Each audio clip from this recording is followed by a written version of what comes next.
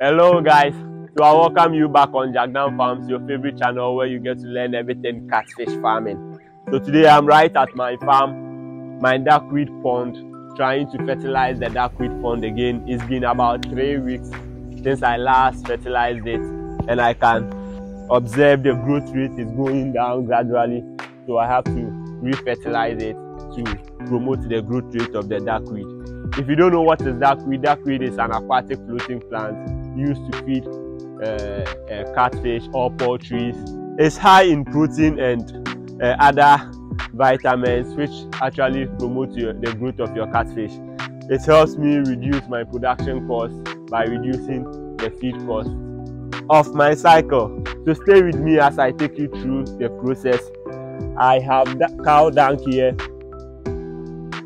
I have cow dung right here and I have some basin here where I'll do my mixture. So I would have to just dilute my cow dung into the basin with the water and then pour the liquid or the solution right into the pond.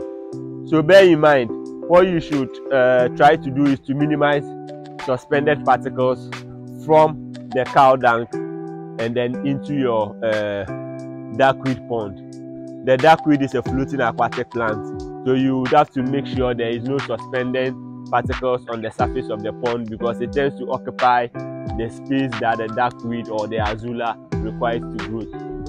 Uh, to grow, sorry. So stay with me as I uh, mix it. This is about three day old cow dung. It's best to use at least a three day old cow dung.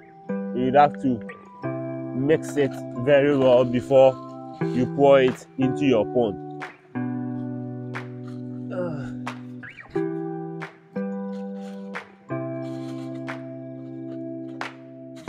Remember, this is fresh cow dung, the one without any sawdust or whatsoever.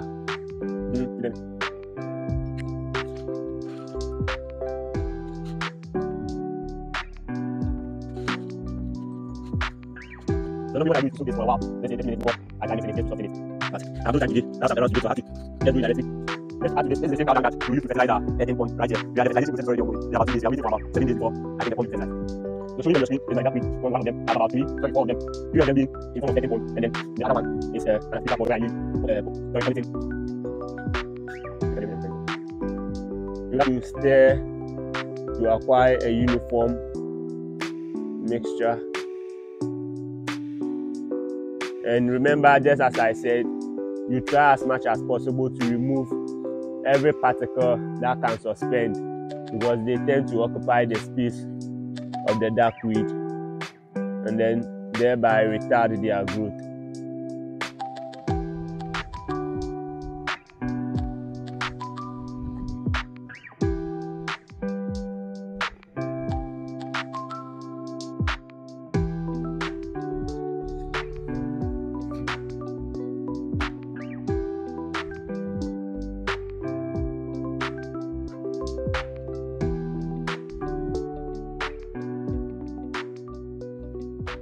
Okay. Akoko original membrane inside. So this is how the sieving is done.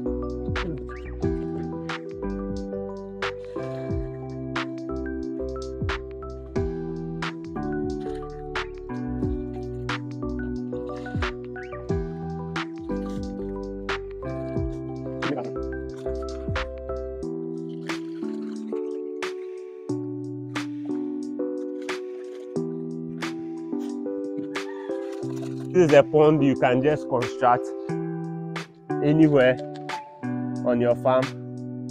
It's just a wooden structure and then I've lined it with a polythene. So guys, this is how the fertilization of the pond is done. And then uh, please remember duckweed or azolla requires just uh, six inches depth of water for it to grow. So you can just uh, uh, minimize the depth of your pond and, and then still they will be fine.